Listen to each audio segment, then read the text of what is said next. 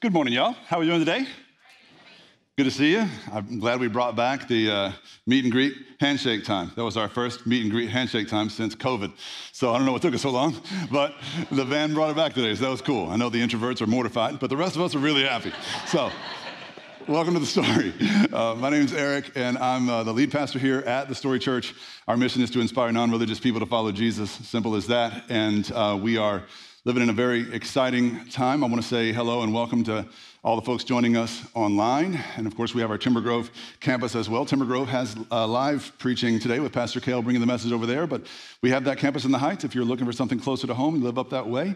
Um, also, uh, we have people joining us from all over the place. So just, I just want to welcome you all and acknowledge you as part of the story today. All right, uh, big times at the story right now. We are now Gosh, after today, we have two more Sundays in this space, which is wild to think about. Absolutely crazy. It seems like yesterday that it was forever away, right? And now here we are. We have two more Sundays after today um, in this space on the 12th of November. We're going to be uh, opening up our new home at 3223 Westheimer Road in uh, the River Oaks uh, area of town, um, where the story began, really, from 2015 to 2021. That was the place we called home, that neighborhood. And, and now we've had uh, two awesome years almost in the, in the museum district. We've loved it, but we're going home on uh, November the 12th. Same worship times, just to uh, avoid any confusion there. We just left that the same 8:30, 9:45, and 11. And remember, we're going to be in the gym over there um, for a while until the sanctuary is completed. So lots of great things going on there. Hope you listened to the announcements earlier because there was a couple big things coming up. Um, I won't repeat all of them. I just really want to get that family um, workshop on your minds, on your calendars. You got to let us know you're coming so we can uh, be sure to RSVP. Spots are filling up. So if you have a family or want to have a family of any kind, um, this uh, family workshop weekend with Jeremy Pryor will change your life. It'll change your family's trajectory, talking generational shift, all right? So, uh, November the 11th, that's the day before grand opening over in River Oaks. So, it's going to be a huge weekend for the story, and I hope you all will get signed up. You can find out more at thestory.church, all right? So, uh, what day are we moving over? 12th of what? All right, good. They're listening, people. All right. So, uh, two more Sundays here. I'm just telling you, if you come back here on the 12th of November, it's just going to be you and the other forgetful ones. All right. So, um, anyway, uh, that's going to be a, a great, great day for us. We got an exciting season ahead.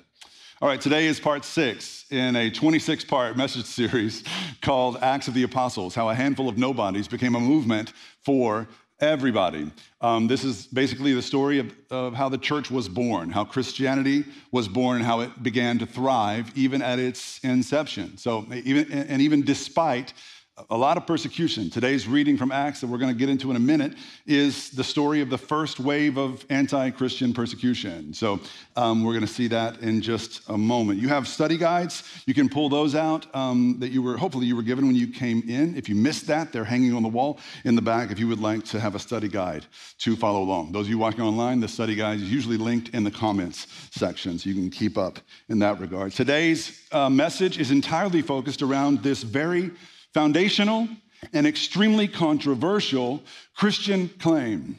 I know there's a lot of controversy around religion and a lot of controversy around Christianity in particular.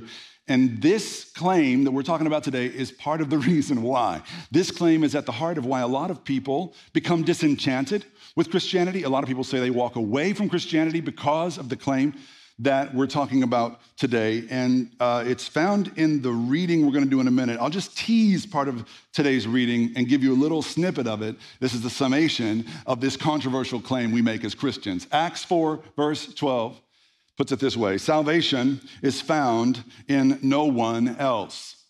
Implied in this statement is that no one else can save you but Jesus. Jesus alone can save you.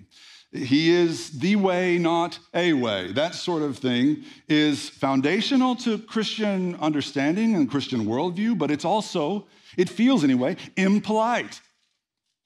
And you can be a lot of things in Houston, Texas, and get away with it, but not many people in Houston will, will let you get away with being impolite and unpleasant. You know, they'll call you out for that. We should all be pleasant and nice and polite. And, and, and so this seems a little abrasive, doesn't it? It seems a little bit um, separatist, right? No one else can be saved but those who follow Jesus. Like, how do we reconcile this with the love of God, right? I mean, I mean, another way of putting it, maybe a little bit more abrasively, like some of our less uh, restrained, uh, some of our less delicate Christian brothers uh, have put it this way over the years. Basically, we're saying, turn or burn. Like this church sign, turn or burn. And by the way, Happy New Year. I love it. I, I, just love that little touch, you know, uh, turn or burn in hell forever. Happy New Year. All right, so anyway. Um, that's one way to put it. I mean, it's, again, indelicate, but at its heart, that's kind of what it feels like or what it means to say there's no other name by which we can be saved than that of Jesus Christ. He is the way and not just one of many ways. Turn to Him or burn in hell. Is that what we're saying? When I was um, not a Christian, when I walked away from Christianity, this is the sort of rhetoric that I wanted to walk away from, right? Anybody else here agree with that? Like, have you ever been in that place where you're just like, I'm okay with some parts of Christianity. I'm okay with like the Good Samaritan. Can we just take the Good Samaritan part of Jesus and leave this part out? Like, like can we pick and can we choose? Um, because this stuff is just a little much. I don't want to be that guy who stands on the sidewalk and tells unbelieving non Christians that they're going to burn in hell for not having the right religion. I don't want to be a part of that. That's who I was for you know 13 years. It just seemed a little bit unnecessary, a little bit cruel actually. And I remember thinking, whenever I heard Christians say things like this, I remember thinking, even if you do believe that to be true, that there's no other name under which we can be saved, only people following Jesus can be saved, even if that's what you believe, why would you want to broadcast it? Why would you want to lead with that? Who do you expect to attract with a message? Have you ever heard anyone say, I was in a really dark place once until some Christians I never met put something on their church sign telling me that I was going to burn in hell forever for not being like them. And that's when I decided to become a follower of Jesus Christ. Have you ever heard that testimony? I've yet to hear that testimony. Usually it's a little more relational than that. But, but my question when I was not a believer is why even broadcast this belief? Why not keep this for like, you know, like the Scientologists do? Keep it until you're all in. You know, it's like keep the weird stuff until you're level 12 or whatever. It's like, let's just, why do we, why do we broadcast it? Um, and and it, it was lost on me. It just felt unnecessarily um, hateful. Unless, of course, Christians have some particular axe to grind or bone to pick, so, unless they're provoked in some way by some hateful people that have come after them. Like, like maybe there's a justification here and there to say something like this out loud, like, uh, like this Christian group, this church uh, with another sign um, put it this way. They said, Whoever stole our AC units, keep one. It's hot where you're going turn or burn, right? So that's another way of saying it, and they've got a reason. They've got a reason for going there. I like these Christians a little better than just turn or burn, Happy New Year. You know, they're a little less trite. I get it. Okay? So, and, and, and yet, and yet the point remains like without that provocation, unless somebody steals your AC units, like what right do Christians have to make such bold claims?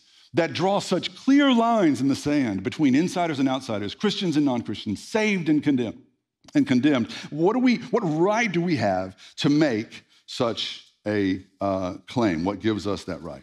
Now, that's the sort of issue we're dealing with today. And uh, first off, I want to say turn or burn is probably not the way we're going to say it at the story. Like, we're not going to be printing up t shirts, the story church, turn or burn, or we're not going to be, you know, that's not going to be our mantra, all right? Um, even though I recognize it does have a nice ring to it. Uh, it rhymes, for example. It's easy to remember, you know, turn, burn, all that. And so much so that I've noticed lately secular groups using the same exact mantra for their own political purposes, like this um, billboard that I found from the Sierra Club, where Governor Cuomo says, let's turn, not burn. But this is about something else, right? So, and we all know that when Governor Cuomo talks, it's probably true, right? Anyway, that's a political joke. So, the, he's no longer governor, in case you're wondering. So, the, the, the idea is the same here, like, like regardless of Christian, non-Christian, whatever, we all are drawn to these sort of pithy mantras. And the question is, what's beneath them? What's behind them to support them? Because the, while the, I don't love the wording turn and burn, I think the principle beneath it is, is there's truth there that we should be willing to talk about. And that's what we're talking about today. But we have to be very careful as Christians when we decide to take up this, this topic. And I think we have to be careful for two reasons. The first reason is because a lot of us are scared into submission. and scared into silence to the extent that we never say this stuff at all. Like, I'm not even sure we think it anymore because it's so impolite and off putting. We would just rather conceive of our Christianity as being one of many equal paths. And everybody has their way, and we have our way, and whatever works for you is great, and whatever works for me is great, and let's just do our thing and see you in heaven, guys. And like that's how we like to think of it. The scriptures don't give us that option, Jesus doesn't give us that choice. And so, um, in a world that's often intolerant of views like this, we have to insist on professing and proclaiming key aspects of our Christian faith, even if there's a price to pay. The clip I'm about to show you is from a Senate subcommittee hearing from a few years back. A very uh, notable senator who you'll recognize is questioning a uh, nominee for some government board thing, I don't know. And, uh, and, and the, the nominee's Christian faith comes up in the line of questioning. The nominee's name is Russ Vought. He's a, a Christian and doesn't have any real extreme or extraordinary Christian views. He's just posted things online that are basic Christian thoughts, like, you know, this thing we're talking about today. There's no other name by which people can be saved than that of Jesus Christ, because his name is, is the highest, it's the best, he, he is the one. But watch what happened whenever his Christian faith came into the crosshairs in this line of questioning.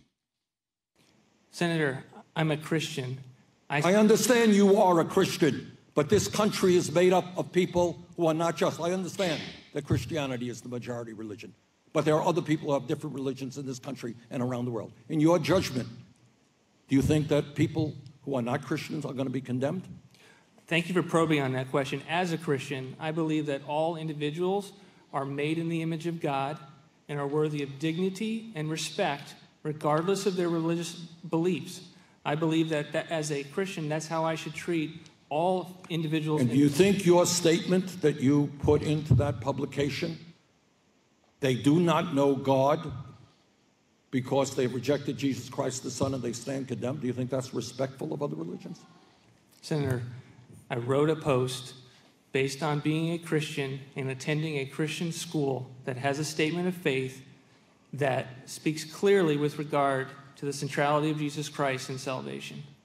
I would simply say, Mr. Chairman, that this nominee um, is really not someone who is what this country is supposed to be about. I will vote no.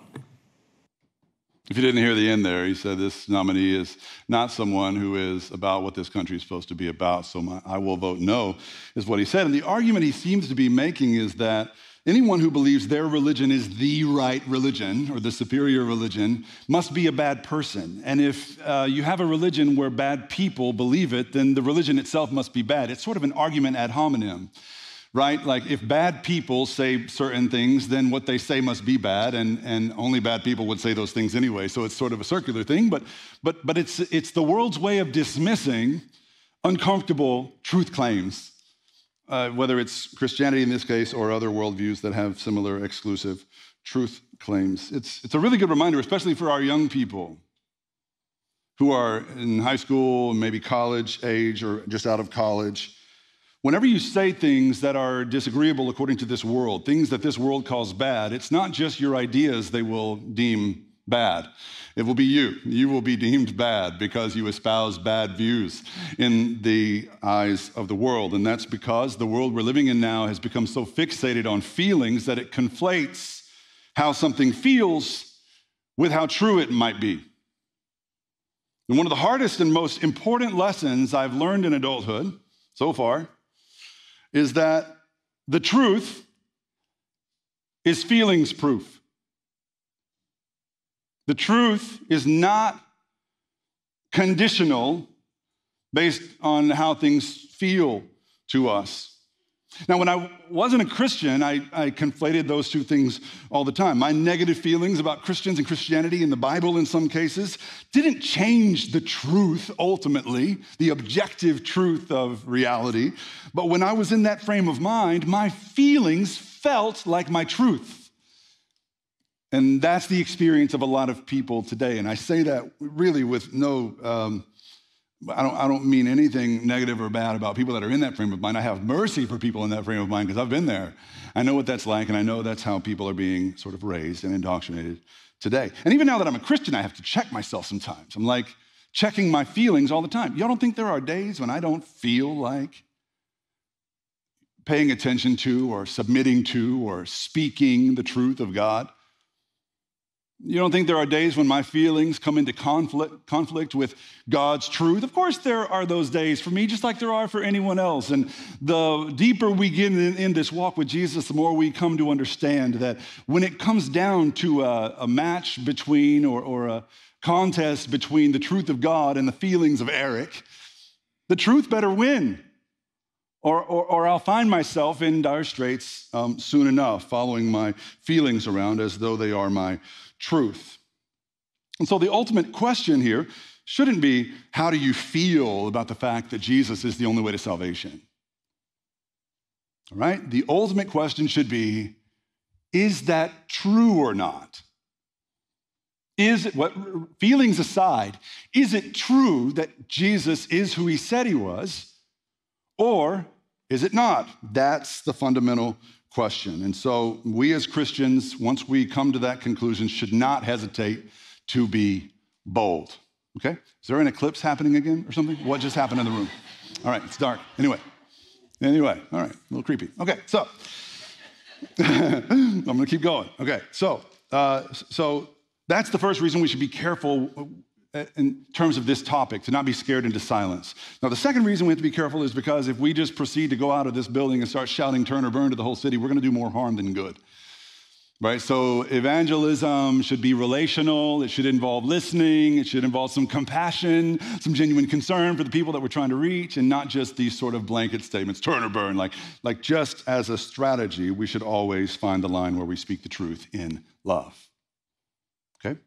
So, with that said, let's get to today's um, reading from Acts. This is Acts chapter 4, verses 1 through 12. We're going to um, get through this today, uh, the first 12 verses of Acts 4.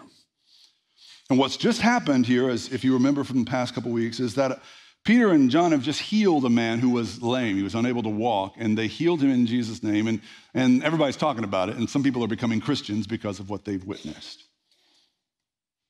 Acts chapter 4, verse 1. The priests and the captain of the temple guard. So the priests were the religious sort of stakeholders. The captain of the temple guard, that he represented the police force of the day. And the Sadducees, those were the ruling political elites. All right, these are the educated, hoity toity guys. All right. They all came up to Peter and John while they were speaking to the people. They were greatly disturbed because the apostles were teaching the people. Why? Because they were the teachers. We're the, we do the teaching here.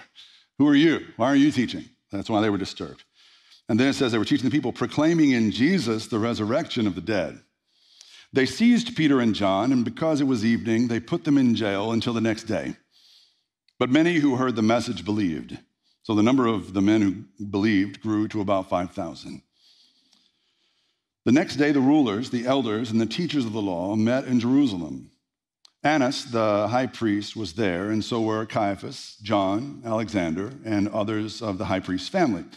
They had Peter and John brought before them and began to question them.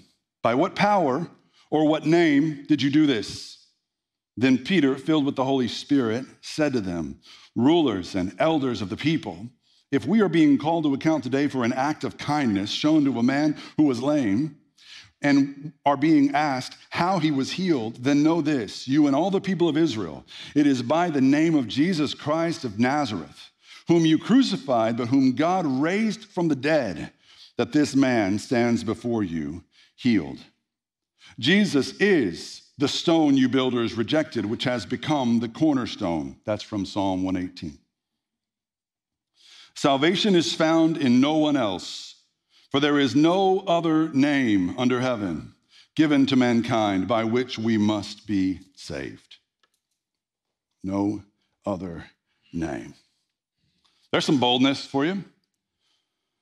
Spoken in love. Peter didn't just come out guns blazing, condemning these guys who had a hand in Jesus' death. In fact, Peter speaks to them with some mercy in his tenor. He's hoping to bring them into the fold, hoping they'll see the light. He's given them an opportunity by, by, telling them the truth about Jesus. But what's really compelling to me about Peter here is not just what he said, but what he didn't say. What did Peter not say? Hey, to each his own. I found Jesus, but he, he works for me. And you go find what works for you. You know, um, it's, we're all the same. All religions are the same. Everybody's going the same place. When we die, just be a good person. You know, he didn't try to soften the claim. He didn't try to, to blur the lines he was drawing. The line was very clear. In fact, the line Peter draws is refreshingly clear. Even if you don't agree with Peter, I think maybe in some part of your heart you could find his clarity refreshing. Because who's clear anymore? No one. Only crazy people are clear in these days because they're the only ones that don't care what people think. The rest of us, we try to we, we, we try to toe the middle ground. We try to keep ourselves from being canceled or whatever. And we try to make everybody happy. And we just end up, you know, speaking all kinds of hodgepodge, you know, uh, mishmash words and things that are unclear. But Peter was clear. Why? What gave them a license or the language to be so clear about Jesus? Well, Jesus did, obviously.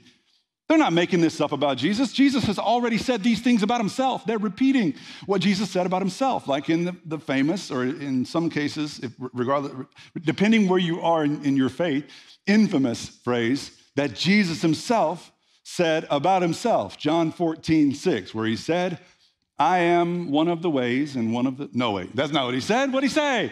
I am the way and the truth and the life. No one comes to the Father except through me. That's from Jesus' own mouth. And so, again, the question isn't, well, how does that make you feel? The question is, is that true and is Jesus worth listening to? That's the ultimate question posed by this uh, part of the book of Acts. Either Jesus is who he claimed he is, or he isn't. He's God in the flesh, or he's not. You can take him or you can leave him.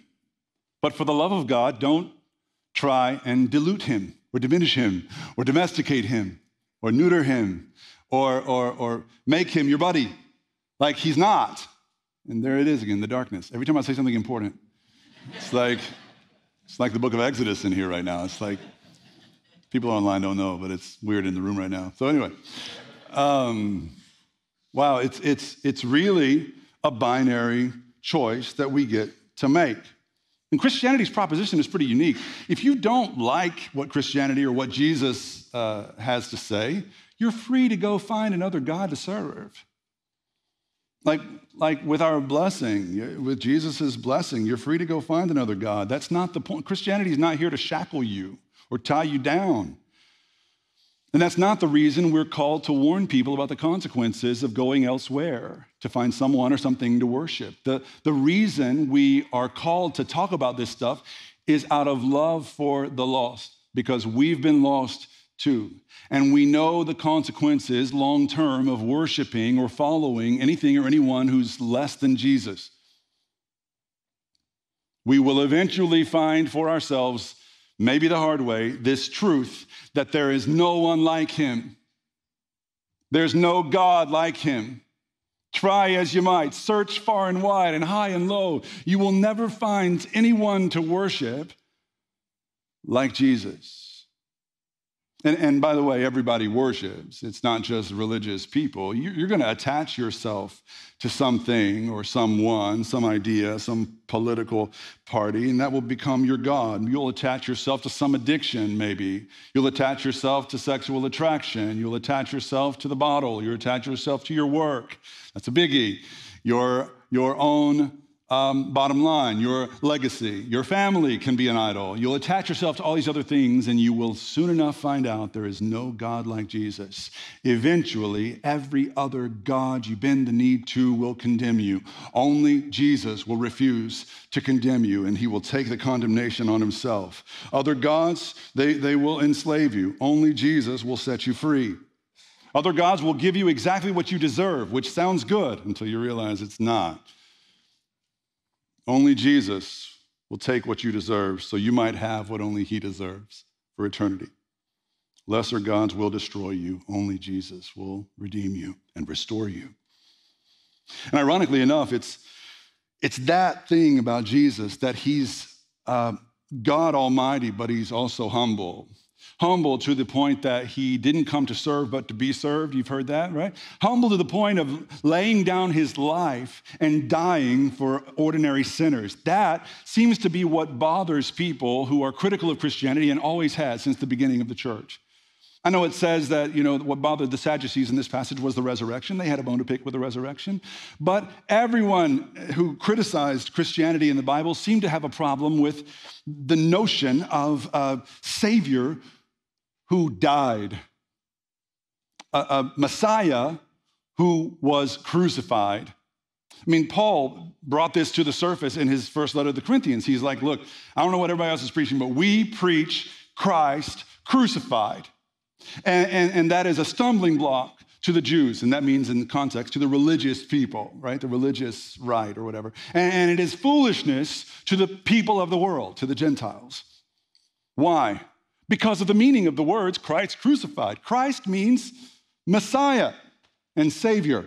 Crucified, according to Scripture, Deuteronomy 21 23 says, anybody that hangs, that dies hanging on a tree, anybody that's crucified, is cursed, damned, condemned. And so, what we preach is the one true God has been cursed for us. The one Messiah that we worship is condemned. Our Savior has been damned so that we could be free. And that's a lot for a lot of people to handle. The idea that we would accept a God because, because, because then we have to acknowledge our sin, acknowledge our role in Him paying that price for us, and be contrite about it, and, and, and to repent who we have been. It's not easy for us. Whenever we say as Christians, there's no other name by which we can be saved, we're not picturing some kind of a demagogue on some almighty throne with a scepter just waiting to strike people down to hell forever. That's not the image at all. We're talking about a king who died for his people willingly. King who lived like we should have and died like we should have, just so that we might know him and be with him forever. For a lot of people, that's a stumbling block. That's foolishness. But for us, it's the truth. Now, I understand why that's a struggle. I understand why this whole thing's a struggle. Because we've, honestly, let, us just get cut to the chase. We've all had loved ones who died. We're not sure where they stood with the Lord, right? And we don't want to be the kind of people that go to funerals that, you know, where somebody's not a Christian and we're like, well, I don't know. You know, I, I get it. There's some tension in the room. I just want to put a caveat here and say nobody knows the heart of any person, right? Nobody knows their destiny but God. We're not judging anybody here. It's not about your church attendance record or anything like that. There are going to be plenty of people in heaven who never step foot in a church on a Sunday morning. I'm convinced about that, all right? Now, y'all should come back. but this isn't your ticket to heaven, is what I'm saying. This isn't a game God's playing with us here. All right? The, the question is who is Jesus? A lot of people get caught up on Jesus uh, not agreeing with them on issues that are important to them. They're, they're told that Jesus stands in this one place on marriage, you know, and, and the Bible stands in one place on marriage, but I really want to stand over here on marriage. And until Jesus comes and meets me here, I'm not going to give him the time of day because essentially what we're saying is, I have higher standards than Jesus. My morality is more finely attuned than Jesus's. Like the self centeredness of it is striking, but it's where a lot of people are today. And you can take any other topic, uh, you know, it doesn't have to be that one, you know, topic. It can be any um, hot button issue. And a lot of people just want Jesus to agree with us. And until he does, we're not going to come near to him. And, and, and that's really uh, our problem in our modern day. This is our issue self righteousness and self delusion. We treat Jesus like a politician running for office. Like we want to find someone who agrees with us on the issues and we'll vote for him and let him represent us. And he can thank us later, right? Jesus doesn't want to be your elected official for a term. He's not running for office. You can have him as your king forever or not, and that's fine, but, but it doesn't involve him coming to meet you in the issues. It involves you recognizing who he is. And if there's a gap between you and him, it's probably not him that needs to move. And this is something I've learned over time. All my politics shifted. I mean, I'm not card carrying one way or the other, but I, I was deeply entrenched in my politics, and he shook me up and continues to shake me up today. The question isn't, how do I feel about Jesus' positions? The question is, who's Jesus? Is he God or is he just some foolish, stumbling block?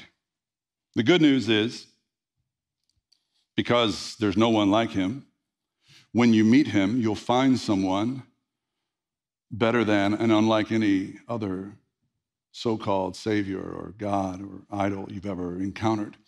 This Jesus will meet you in your anxiety. He will meet you in your self doubt. He will meet you in your depression. He will meet you in your problems. He'll meet you in your addiction. And He won't meet you there heavy handed, ready to take you out to the woodshed. He won't meet you there with punishment. He'll meet you there with an embrace. He'll meet you there with an invitation home. He'll meet you there with a meal like we celebrate at the end of every service. He'll meet you there with water to wash you up, He'll meet you there with grace. But He will also meet you there with a reminder of your sin and how you're not who you should be. You haven't been who you should be. And that seems hateful in the world's eyes, but I'm telling you, that's the most loving thing you'll ever hear is when you finally hear the message, you're a sinner. Anybody that tells you you're perfect and you don't need to change, they, they might seem like they love you, but they really hate your guts because that's the last thing we need to hear. No one is good. Not one of us. We're all flawed. We're all sinners. But in Jesus, there is grace. That's why he came, as he said in Luke 19:10, to seek and save the lost. Only when you are lost will you ever need to be found. Only when you're sick will you ever go to the doctor. And Jesus came for us in our lost state. And of course, the irony there is everybody's lost. Those of us who convince ourselves we're not, we're like the man in the family that refuses to stop for directions, right? Just keep driving and driving and driving. Somebody tries to give you directions and you just double down. I don't need no directions, I'm not lost. And everybody knows you're lost. Even you know you're lost. You just aren't ready to admit it yet. Why? Pride. Pride is the engine of self delusion that keeps us in our condemnation. Pride says, I'm not lost. I don't need a Savior. I don't need to admit anything. I don't need to confess or repent. I'm okay. Everybody tells me I'm a good guy. I'm fine. No Savior necessary. Thanks, Jesus. Just spend your time saving other people. I'm good. When we get in that frame of mind, we get like this guy Dave. I'm gonna tell you about Dave. One time a while back, somebody had this idea to graffiti the side of a wall in the name of Jesus. And the way that they did it was, as you might be able to read here Jesus, it says, no name is higher. But if you look real close, you see that sometime after somebody made this profession of faith, Dave brought his ladder to the wall. And Dave climbed up real high here, and I'll, I'll point it out over here. This right up here, Dave climbed his ladder and painted on that wall like a four letter word his name, Dave, right above the name of Jesus. No name is higher, really? Dave's this. Like, that's the point he's making. Friends, I've been Dave. It's not as fun as it sounds. It doesn't go as well as you might think. Friends, don't be like Dave. Don't try to keep your name above the name of Jesus. You're not him. Only he is the Savior, the Messiah, the one capable of saving us. Christian salvation is not a matter of waking up and feeling good about yourself. Christian salvation is a matter of waking up and realizing you're a sinner and yet you're saved by the amazing grace of God. If I could sum it up simply and succinctly, it would be this Christian salvation is a free gift available to everyone who wants it through Christ alone. Show me, show me another worldview that rivals this. The idea that everyone can be saved regardless of track record, politics, background, past, race, ethnicity, languages spoken, educational background, success in the workplace. None of it matters with Jesus. Just come home. Just come home. There is no one like him. That's why when Christians talk about things like hell and eternity and damnation, it's not a threat, it's not hate. It's, it's meant to be a loving warning. Understand, when you conceive of hell, when Christians conceive of hell, we don't think of this fiery cauldron of, of penitent, contrite souls saying, We're sorry, we're sorry. No, that's not it at all. Everyone in hell will be saying the same mantra We were right. We were right and we don't deserve to be here. By contrast, everyone in heaven will be saying the same thing in a way. Not the we were right part, but definitely the we don't deserve to be here part. We don't deserve to be here. In hell, they'll be saying, chanting angrily, We know better than Jesus. But in heaven, we'll all be saying, We know nothing but Jesus. Friends, no lesser God can save you, try as you might. No lesser God, no other worldview. You can't save you. Your favorite person can't save you. Your church can't save you. Your preacher can't save you. Jose Altuve can't save you. as much as we all love that little man, He is my favorite five foot, four inch Hispanic person. And I'm married to Giovanna. So it's complicated. But even he can't save you. No one can. No one but Jesus can. And so, my prayer is that if you haven't come home to him yet, you will come home to him now. The invitation is open, it's got your name on it. There's a place at the table just for you, no matter what you've done with your life up until this point. He waits to welcome you home with an embrace. Let's go to God in prayer. Lord, we pray that we might hear this invitation and heed it. I pray that someone here in this room, or maybe a bunch of someones who haven't come home or haven't been home in a while might heed the invitation and come home once and for all. Lord, we thank you for your patience and steadfastness with us and waiting for us to see the light and come home. Forgive us of our sins, Lord. Thank you for the price that you paid to serve as our ransom to set us free. Lord, help us to receive that gift with gratitude, grateful hearts. In Jesus' name, amen.